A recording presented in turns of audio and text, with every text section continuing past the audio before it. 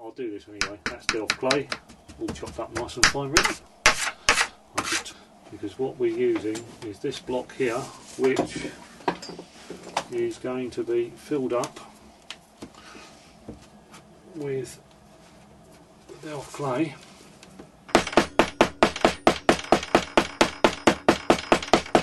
So that's all nicely hammered in there. Scrape the clay off the top of here.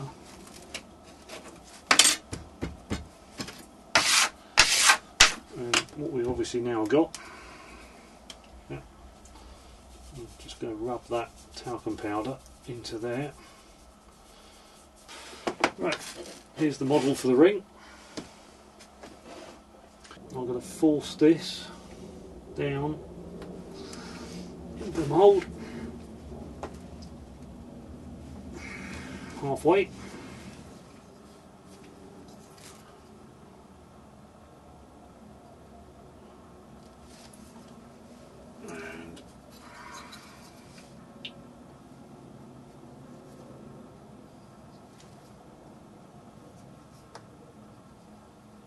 Push all that down there. Yep, this one goes on top of that. Pushed all the way down.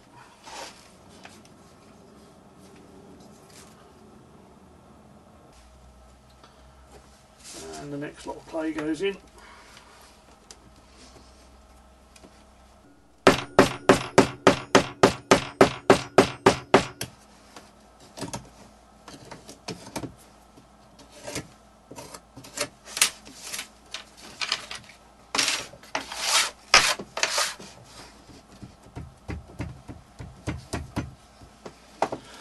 And with a bit of luck, I'm going to separate these two halves.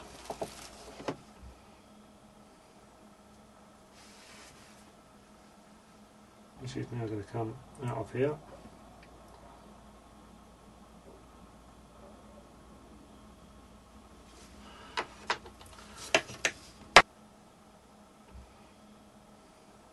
Going to put an air hole through there.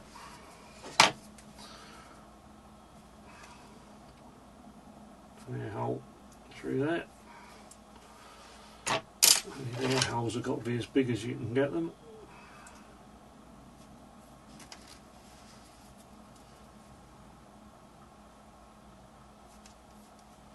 And that's going to come out the other side. Air holes higher up on this side.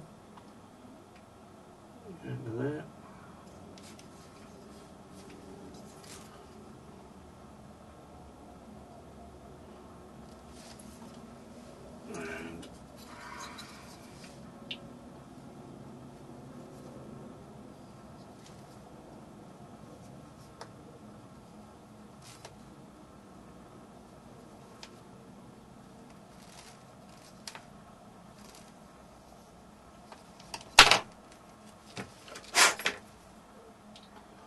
And Not deep enough.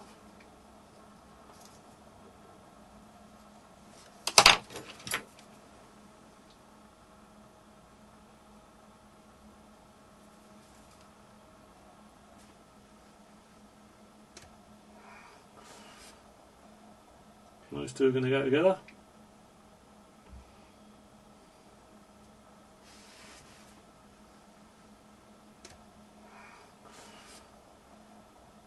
Okay, Yep. so we've got air holes at the back and air holes that side and air holes coming out through those two bits there are burnt.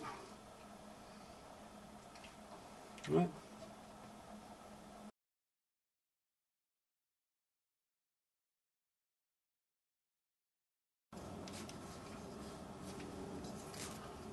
This this this one's propane and acetylene.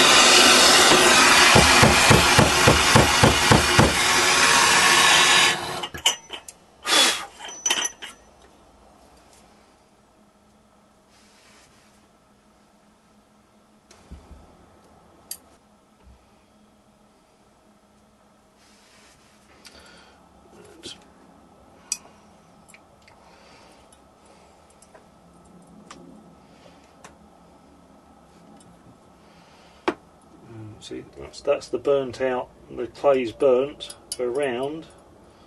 There's the ring inside the other one. Basically, it's all upside down now. That's where we poured the metal in. And that's the air holes where the metals come out through the top of here. And the air holes, those two spikes. And there'll be two more on the other side of the air holes where I made the holes through the back to let the air come out so the silver went in. And go down. I'll just put this down. Not wanting to get hold of it because it's still hot.